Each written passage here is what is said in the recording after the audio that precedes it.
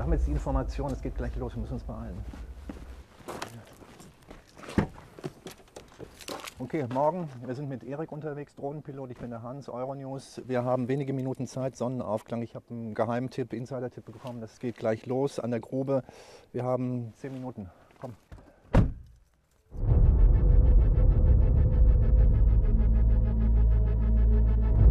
Wir sind auf dem Weg zu einer der größten Braunkohlegruben Europas. Garzweiler ist da vorne. Und da startet gleich eine Geheimaktion von Kohlegegnern Rings um den Tagebau patrouillieren Polizei und private Sicherheitskräfte. Hallo? Also es sind verschiedene Geräte gesetzt.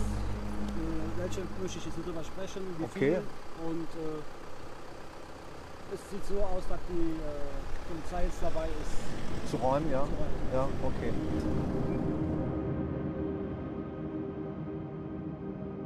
Der Tagebau Garzweiler, eines der größten Braunkohlelöcher der Welt. 14 Dörfer wurden schon weggebaggert, sechs weitere, hier in Rot auf der Karte, könnten bald folgen.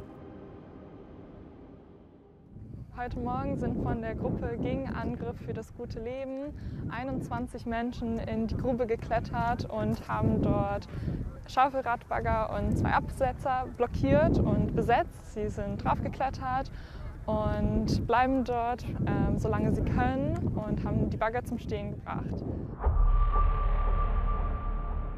Während mein Kollege seine Drohne steigen lässt, schicken mir die Klimaaktivisten Bilder direkt aus der Grube.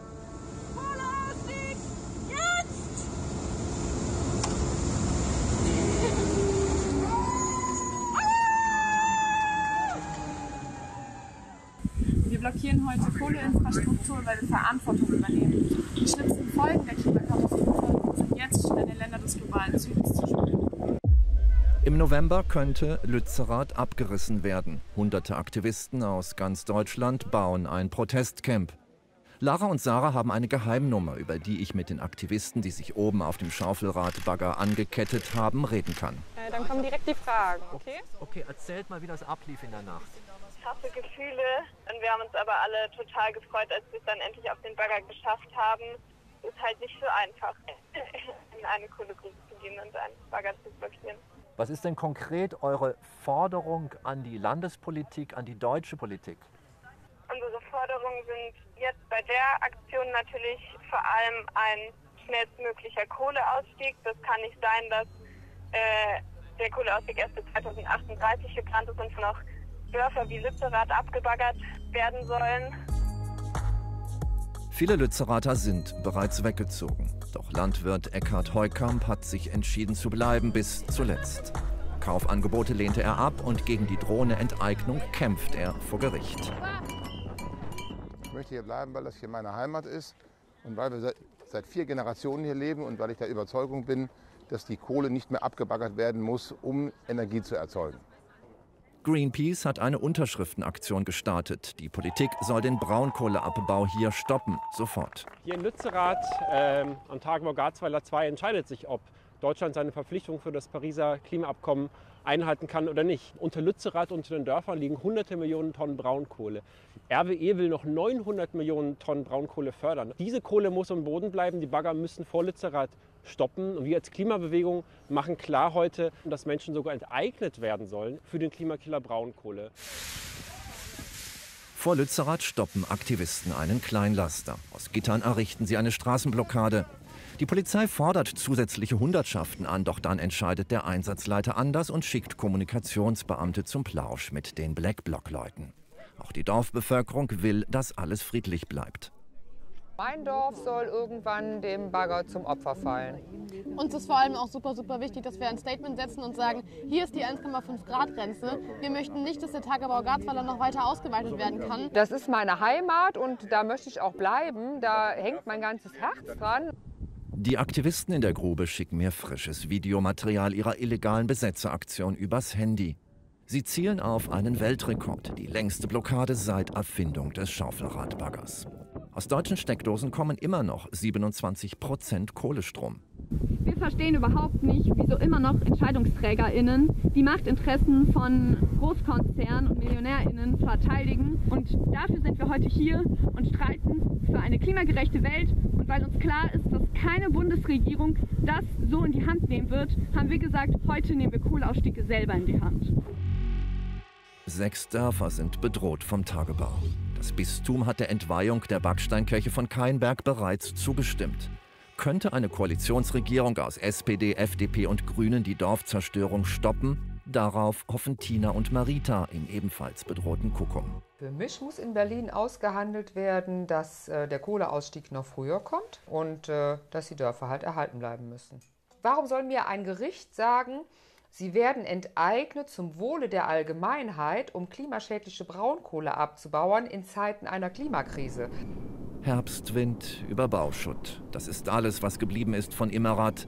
Vor drei Jahren wurde die bekannte Doppelturmkirche zerstört. Verschwunden sind Windmühle, Krankenhaus und 900 Jahre Geschichte. Ja, 1200 Leute haben hier mal gelebt. Das war früher der Friedhof. Hier stand noch die Mauer. Die wurden alle umgesiedelt.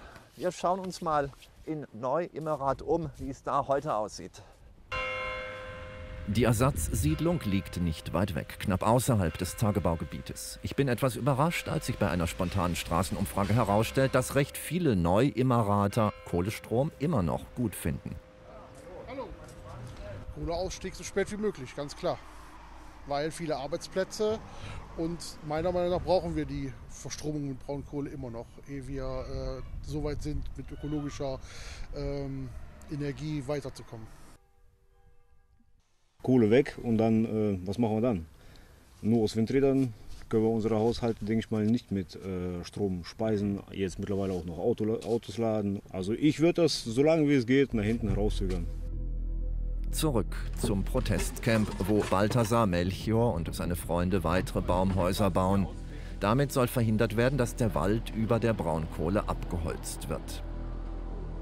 So wie Tarzan konnte ich noch nie klettern, aber Lotte zeigt mir, wie es geht. Die Wohnbäume haben Namen. Wir wollen hoch auf May, benannt nach der französischen Anarchistin May Picaret, ohne Risiko ist das nicht. Immerhin ist May stolze 17 Meter hoch. Das Problem ist, dass wir in einem kapitalistischen System leben, wo das Geld ganz viel Macht hat und es gibt einfach sehr reiche Menschen, die durch ihr vieles Geld sehr viel Macht haben und zum Beispiel in der Lobbyarbeit da viel zu wenig Beschränkungen auch sind und dadurch sehr viel Einfluss ausgeübt werden kann. Bevor wir Tschüss sagen, rede ich noch kurz mit Jan, dem Wächter des Protestcamps. Der frühere Milchbauer lebt jetzt rund um die Uhr in der Mahnwache. Verlieren die Klimaschützer langsam die Geduld, will ich wissen? Wie lange wir den Deckel noch draufhalten können, ist unbekannt. Was, weiß ich, was die Leute in fünf Jahren über die Sache denken. Kann ich nie wissen. Vielleicht rennen die da mit dem Brandfackel in der Gegend rum, keine Ahnung. Vor Wut. Wenn dann einer auf den Bagger klettert und haut ihm die Scheiben raus, dann haut er ihm die Scheiben raus, kommt dafür ein Glas, aber wir werden ihn da nicht runterholen deswegen. Doch die heutige Demo bleibt friedlich. Anwohner aus der Gegend machen sich gemeinsam mit den Aktivisten auf den Weg zu einem Dorfspaziergang. Nur wenige Tage vor der internationalen Klimakonferenz in Glasgow wird Druck aufgebaut, damit Deutschlands Politiker den Kohleausstieg hierzulande vorziehen. Bei den Koalitionsverhandlungen in Berlin spielt auch das Thema Kohleausstieg wieder eine Rolle. Die Grünen wollen früher raus aus der Kohle, die SPD möchte 2038 beibehalten. Die Klimabewegung radikalisiert sich. Gleichzeitig ist die Kohlelobby eng vernetzt mit Sozialdemokraten und Konservativen, sprich das gesellschaftliche Klima in Deutschland wird rauer. Möglich ist alles. Kohleausstieg schon 2030, so steht es im Sondierungspapier der potenziellen Koalitionspartner. Ein Funken Hoffnung für das Erdklima.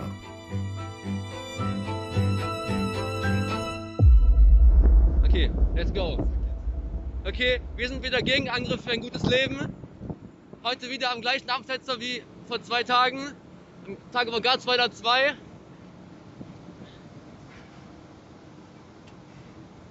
Der Bagger steht. Klimaschutz bleibt Handarbeit.